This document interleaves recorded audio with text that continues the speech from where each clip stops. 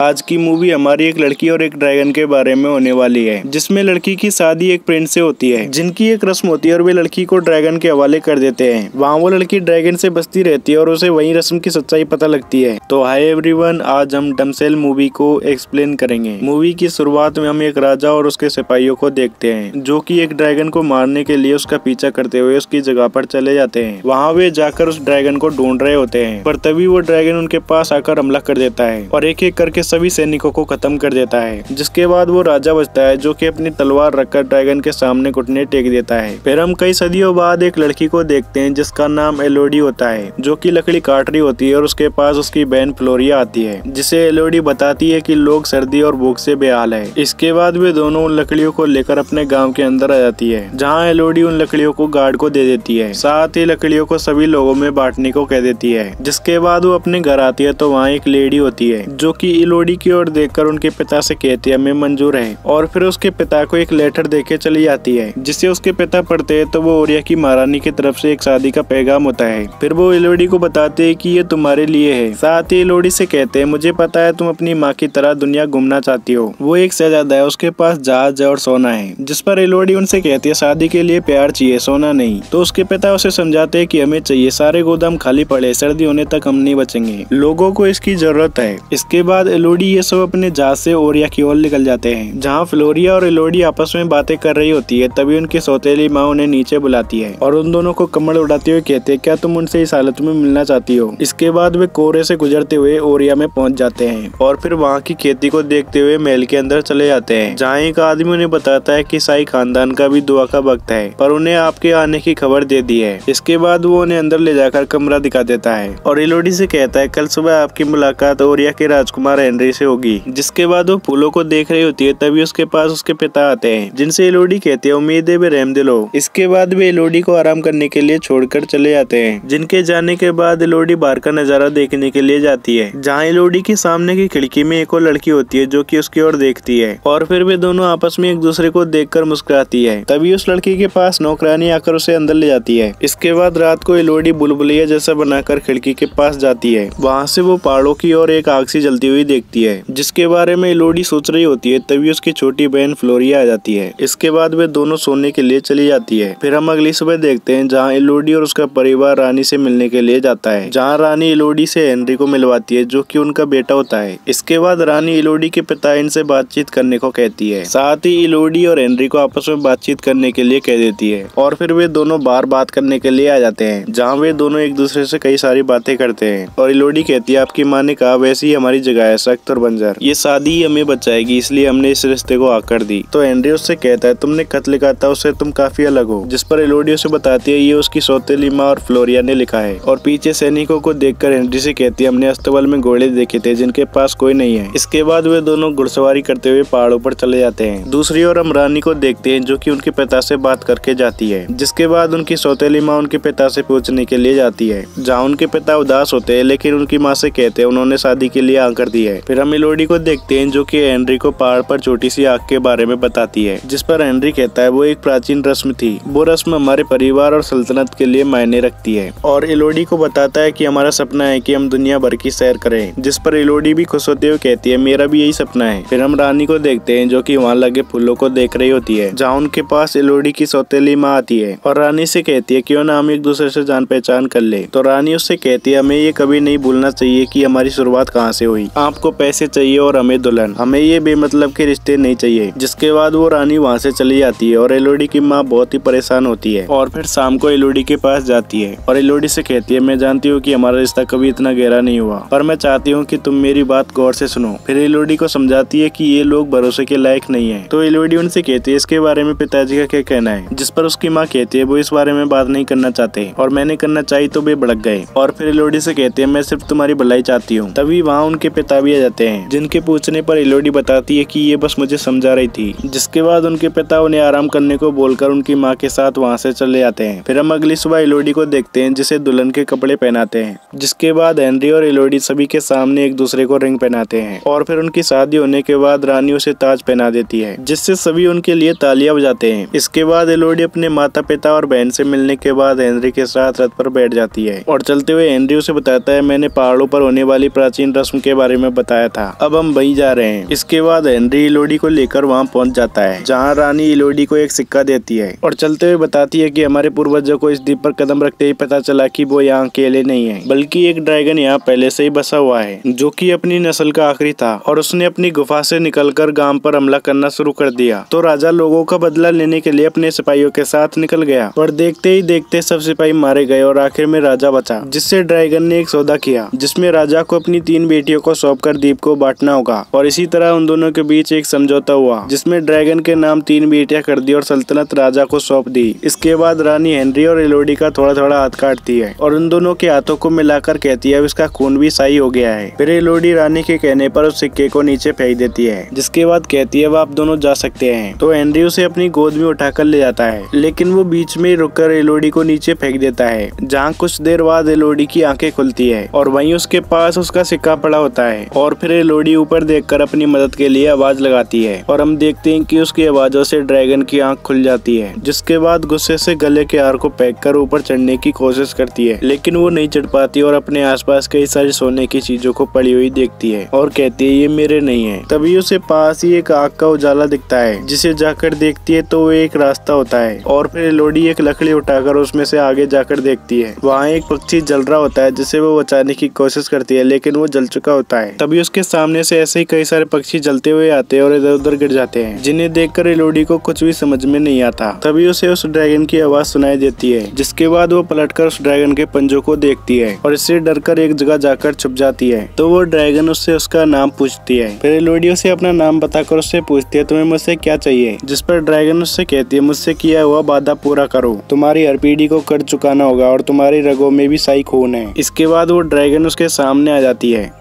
जिससे डरकर एलोडी वापस भगने लगती है और वो ड्रैगन अपने मुँह से उसके पीछे आग फेंकता है। उस आग से लोडी किसी तरह बचते हुए सुरंग के अंदर आ जाती है। वहाँ वो उस लड़की की बॉडी देखती है जो कि उसे खिड़की पर दिखाई दी थी। इसके बाद लोडी उस ड्रैगन की आग के आने से पहले छोटी सी सुरंग में चली जाती है, लेकिन उसका पैर थोड़ा सा जल जाता है। फिर ड्रैगन उससे कहती है, काफ़ी चालाक हो पिछली वाली आसान थी, लेकिन लोडी उसे कोई जवाब नहीं देती और फिर अपने कपड़ों में से एक खंजर टाइप की चीज़ निकालती है, जिससे छोटा सा कपड़े का टुकड़ा काट कर अपने पैर पर लगाती है और अपने पास की आग से डब्बी के अंदर आग लगा लेती है, जिसके उजाले से वो आगे बढ़ती है और एक पतली सी जगह से जा रही होती है जहाँ वो फिसल कर आगे अटक जाती है। उससे लोडी बाहर निकलने की कोशिश करती है, जिससे उसे बहुत ही दर्द होता है और आखिर में उसे निकल नीचे गिर जाती है। जिसके बाद वो आगे बढ़ती है तो उसके सामने पत्थरों पर उजाला दिखाई देता है, लेकिन उसके बीच एक गहरी खाई होती है तो लोडी वहाँ बैठ कर आराम करने लग जाती है और एनरी की पहनाई हुई रिंग को निकाल कर नीचे फेंक देती है, जिसके बाद बक्कर उस पार जंप लगा देती है, जहाँ वो उस खंजर जैसी चीज़ की मदद से नीचे गिरने से रुक जाती है और वहाँ जाकर देखती है तो वे कीड़े होते हैं, जो कि रोशनी कर रहे होते हैं। इसके बाद एलोडी अपने एक हाथ का कपड़ा लेकर उसमें कीड़ों को भरने लग जाती है और फिर आगे जाके देखती है तो वहाँ पानी होता है, जिसे वो पीकर देखती है तो वो बेकार होता है। पर ऊपर बर्फ़ से साफ़ पानी टपक रहा होता है जिसे की एलोडी पीने लग जाती है। तभी वो ड्रैगन उस पानी के ऊपर आ जाती है और आग से हमला करती है, तब तक एलोडी उसे देख लेती है और वो ड्रैगन नीचे आती है। उससे पहले एलोडी एक छोटे से चीज़ से नीचे चली आती है। तो ड्रैगन उससे कहते कितना चुप होगी, सब कोशिश कर चुके हैं। तभी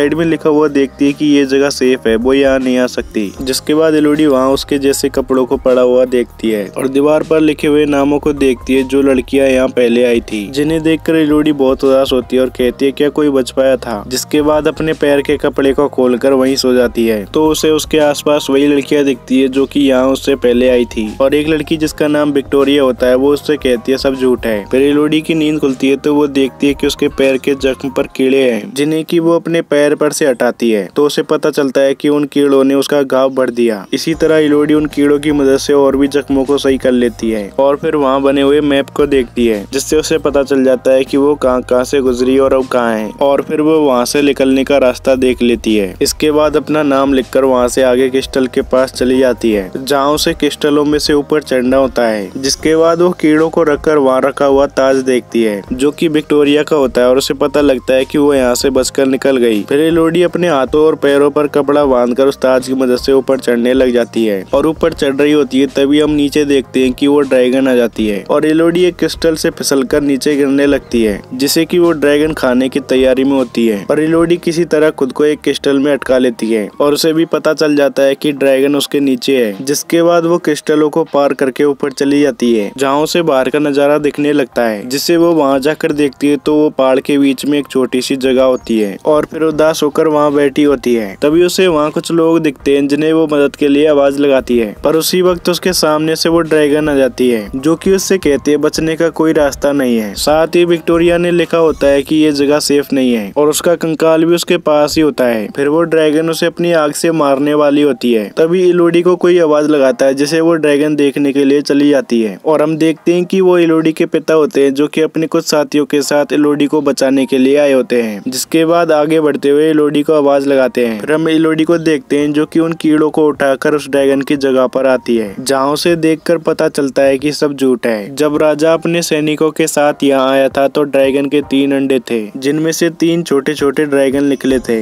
लेकिन राजा ने उन्हें मरवा दिया। इसके बाद ड्रैगन ने उन सभी पर हमला किया और आखिर में राजा बचा, जिसने उससे माफ़ी मांगी और उसे छोड़ने को कहा। तो ड्रैगन ने उससे कहा, इतनी आसान मौत नहीं दूँगी, तुम्हें मेरा दर्द सहना होगा। इसके बाद ही ड्रैगन ने उसकी तीन बेटियों को देने को कहा। फिर हम इलोडी को देखते हैं, जिसके पिता उसे नीचे से आवाज़ लगाकर ढूंढ रहे होते हैं। तो एलोडी उन्हें ऊपर से देख रही होती है और कहती है, खामोश रहो, नहीं तो वो तुम्हें सुन लेगी। जिसके बाद उसके पिता से एक साथी कहता है, आपकी बेटी यहाँ बहुत वक्त से फंसी हुई है। शायद अब तक वो मर चुकी होगी। तभी वो ड्रैगन आगे चल रहे दो लोगों को उठाकर ले जाती है। ये देखकर उसके पिता के साथ वाला साथी वहाँ से भग जाता है। इसके बाद वो ड्रैगन उसके पिता के सभी लोगों को खत्म करके उसके सामने आ जाती है और उससे पूछती है, तुम यहाँ क्यों आए हो? जिस पर उसके पिता कहते हैं, मैं यहाँ अपनी बेटी को लेने के लिए आया हूँ और उस पर तलवार से हमला करने के लिए जाते हैं, लेकिन वो ड्रैगन उसे पूछ से पकड़कर लटका देती है और इलोडी भी नीचे आकर देख रही होती है और उसके पिता उस ड्रैगन से कहते हैं, मैं रैम की भीख माँगता हूँ, जिस पर ड्रैगन उससे कहती है, अगर तुम्हें रैम की भीख रखनी है तो उसे बुलाओ। वो यही हमारे आसपास ही है, उसकी महक आ रही है, जिससे उसके पिता को पता लगता है कि वो ज़िंदा है और ड्रैगन उसे बुलाने को कहती है। तो उसके पिता इलोडी से माफ़ी मांगते हैं और कहते हैं, मैंने तुम्हारा सौदा किया अपने लोगों की भलाई के लिए। तो वो ड्रैगन उसे धक्का देते हुए कहते हैं, ये आखिरी मौका है, उसे अपने पास बुलाओ। जिसके बाद उसके पिता इलोडी से कहते हैं, मैं तुम्हारा पिता हूँ और तुम मेरा कहा मानोगी और अब मैं हुक्म देता हूँ कि तुम बाहर मत आना। तो वो ड्रैगन उसके पिता को पटक कर सीने में नाखून चुबा देती है, जिससे एलोडी दुखी होकर एक बार बोल पड़ती है। फिर वो ड्रैगन उसकी ओर देखने के लिए आ जाती है। तभी उस ड्रैगन को उसके डैड के साथ आए साथी की आवाज़ आ जाती है, जिसे देखने के लिए वो ड्रैगन एलोडी के पास से चली जाती है। तो इलोडी अपने पिता के पास जाती है, जहाँ उसके पिता उसे रस्सियों से ऊपर जाने को कहते हैं और बताते हैं कि जहाज़ पर तुम्हारी सौतेली माँ और फ्लोरिया इंतज़ार कर रही है, जिसके बाद उसके पिता वहीं मर जाते हैं। इससे इलोडी बहुत दुखी हो जाती है और रस्सी से वहाँ से जाने लगती है। दूसरी ओर ड्रैगन उस आदमी को ढूंढ लेती है, तभी उसे इलोडी की रस्सी से ऊपर चढ़ने की आवाज़ आती है। तो वो उस आदमी को मारकर इलोडी की ओर आने लग जाती है, जहाँ वो ड्रैगन इलोडी पर आग से हमला करती है। लेकिन इलोडी उससे बच के बाहर चली जाती है और फिर एक घोड़ी पर बैठकर जाने लगती है। तो वो ड्रैगन भी उसे मारने के लिए बाहर आ जाती है, जिसे देखकर इलोडी घोड़े से उतरकर उसे आगे भगा देती है और खुद एक पत्थरों के नीचे छुप जाती है। लेकिन उस घोड़े को मारकर बादलों में सभी जगह आग फैला देता है, जिससे कि राजा और रानी देख रहे होते हैं। फिर रानी कहती है, मैं जानती थी कि ये उसी लड़की का करा धरा है और हम देखते हैं कि उस ड्रैगन ने बादलों में आग आग कर रखी होती है। इसके बाद हम फ्लोरिया और उसकी सौतेली माँ को सिप पर देखते हैं, जहाँ रानी आ जाती है और फ्लोरिया को अपने साथ ले जाती है। जिसके बाद हम इलोडी को देखते हैं, जो कि पत्थरों से बाहर निकल कर खुश होती है और आगे जाती है तो उसे उसकी सौतेली माँ मिलती है, जो कि उसे बताती है, वो फ्लोरिया को ले गई तुम्हारी जगह उसकी बलि देने के लिए। तो एलोडी उसे बचाने के लिए जाने लगती है और उसकी माँ उसके पिता के बारे में पूछती है। पर वो इलोडी का चेहरा देखकर समझ जाती है कि वे अब मर चुके हैं। फिर हम रानी को देखते हैं, जो कि फ्लोरिया को वहाँ ले आती है और चाकू से उसके हाथ को और अपने हाथ को काट कर मिला देती है, जिसके बाद वे उसे नीचे फेंक देते हैं। फिर वहाँ इलोडी आती है, तब तक वे सब जा चुके होते हैं और इलोडी को फ्लोरिया की नीचे से आवाज़ आती है, जिसके बाद वो रस्सी से नीचे चली जाती है और वहाँ से कीड़ों को लेकर अपने शरीर पर मिट्टी लगाती है। फिर मैप को देखती है और ड्रैगन का ध्यान भटकाने के लिए एक जाल बिछाती है, जिसके बाद अपने पिता की तलवार ले लेती है। फिर हम अगले सीन में ड्रैगन को देखते हैं, जो कि फ्लोरिया को देखते हुए कहती है, वो तुम्हें बचाने ज़रूर आएगी। तभी लोडी के लगाए हुए सामान वहाँ से गिर जाते हैं, जिन्हें देखने के लिए वो ड्रैगन फ्लोरिया को छोड़कर चली जाती है और इलोडी अपनी बहन के पास आकर उसे उठाती है, जिसके बाद उसे वहाँ से ले जाने लगती है, लेकिन फ्लोरिया के पैर में लगी होती है और फिर वो ड्रैगन उसके सामानों के पास चली जाती है और वापस आने लगती है, जिसका की लोडी को पता लग जाता है और वो ड्रैगन आती है तो वहाँ कोई नहीं होता। और आगे फ्लोरिया के पास जाने वाली होती है, तभी उसके पीछे से कोई आवाज़ आती है, जो की एलोडी होती है और वो तलवार को उसकी आग के पास लगाई होती है। फिर ड्रैगन से कहती है, हम दोनों से झूठ बोला गया है। उन्होंने कहा, तुमने गाँव पर हमला किया। राजा सिर्फ़ अपने लोगों की रक्षा कर रहा था। तो ड्रैगन कहती है, सब झूठ बोल रहे हैं। फिर एलोडी कहती है, जानती हूँ उन्होंने क्या किया? उन्होंने तुम्हारे बच्चों को मार दिया। जिस पर ड्रैगन कहती है, उन्होंने नहीं, तुम्हारी पीढ़ी ने मारा, तुम्हारे खून ने मारा। फिर बताती है, मेरे बच्चे मेरी नस्ल के आखिरी वंशज थे। और अब मैं आखिरी सांस तक उनके बच्चों की जान लेती रहूँगी। तो इलोडी उससे कहती है हम उनकी बेटियाँ नहीं है। तभी वो ड्रैगन उस पर आग से हमला करती है, जिससे इलोडी पानी में नीचे गिरकर बच जाती है। और वो ड्रैगन उसकी तलवार को अपने मुँह में से निकाल देता है। फिर हम इलोडी को देखते हैं, जिससे की बहुत सारी चोट आ गई होती है। तभी उसकी बहन फ्लोरिया उसकी ओर तलवार फेंकती है, जिससे की वो लेने लगती है, तभी वो ड्रैगन उसे पकड़ लेती है। और उसे दर्द देने लगती है, तभी लोडी तलवार लेकर उसकी आग को फोड़ देती है। और उस पर फिर से हमला करते हुए कहती है, मैं उनकी बेटी नहीं हूँ। तो ड्रैगन उसे पकड़ कर कहती है, पर तुम्हारा खून तो वही है। तो इलोडी उसके हाथ में तलवार घुसाकर खुद को छुड़ा लेती है, जिसके बाद वो वहाँ पड़ी हुई तलवार को लेने के लिए जाती है। तभी उसके सामने के पत्थर को देखती है, जिससे हवा टकरा कर वापस आ जाती है, और फिर वो ड्रैगन भी उसके पास आ जाती है, जहाँ इलोडी उससे कहती है, मैं अकेली नहीं हूँ, मेरे साथ हर वो मासूम औरत है, जिसे यहाँ कुर्बान किया गया। तो वो ड्रैगन कहती है, तुम्हारे खून में कभी मासूमियत थी ही नहीं। जिस पर इलोडी कहती है तो इंतज़ार किस बात का? जला दो मुझे। और वो ड्रैगन जैसे ही आग फेंकती है इलोडी सामने से हट जाती है, जिससे आग पत्थर से टकराकर उसके ऊपर ही आ जाती है। फिर वो ड्रैगन अधमरी हो जाती है, तब इलोडी उसके पास जाती है और बताती है कि यही निशान उन सभी के हाथ पर था। इस तरह वे हमें साई बनाते हैं। इसी खून की महक तुम्हें आती है। उन्होंने तुम्हें धोखा दिया और तुम भी उन लोगों की तरह मासूम लोगों को मारती आई हो। तो ड्रैगन उसे मारने को कहती है और अपनी आँखें बंद कर लेती है। पर इलोडी उसे नहीं मारती और कहती है वही होगा जो मुझे सही लगेगा। जिसके बाद इलोडी पानी में से उन कीड़ों को लाकर ड्रैगन के गावों पर रख देती है। फिर हम महल में देखते हैं जहाँ एक और शादी हो रही होती है। तभी वहाँ उनके पास इलोडी आ जाती है और कहती है, ये तीसरी है, जिस पर हेनरी कहता है, इसके बाद हम किसी से भी शादी कर सकते हैं। तभी उसकी माँ हेनरी को रोकती है और उससे कहती है, तुम नहीं जानती हमारी कहानी क्या है? तो एलोडी उस लड़की से उसके परिवार को लेकर जाने को कह देती है और वहाँ के सभी लोगों को वहाँ से भागने का मौका दे देती है। तो रानी उससे कहती है, तुम बहुत बदतमीज हो, तुम्हें लगता है कि हमें तुमसे डरना चाहिए। तो एलोडी कहती है, वो मैं नहीं हूँ जिससे तुम्हें डरना चाहिए। जिसके बाद वहाँ ड्रैगन आ जाती है और अपनी आग से उन सभी को मारकर पूरे महल को जला देती है। फिर इलोडी अपने परिवार के साथ जहाँ से चली जाती है, जिनके साथ साथ वो ड्रैगन भी जाती है। इसी के साथ ही ये मूवी यहीं पर खत्म जाती है। आई होप आप सभी को ये एक्सप्लेनेशन अच्छा लगा होगा। वीडियो अच्छी लगी हो तो वीडियो को लाइक और चैनल को सब्सक्राइब करें और कमेंट करके बताएँ कि आपको ये मूवी कैसी लगी। मिलते हैं अगली वीडियो में, तब तक के लिए बाय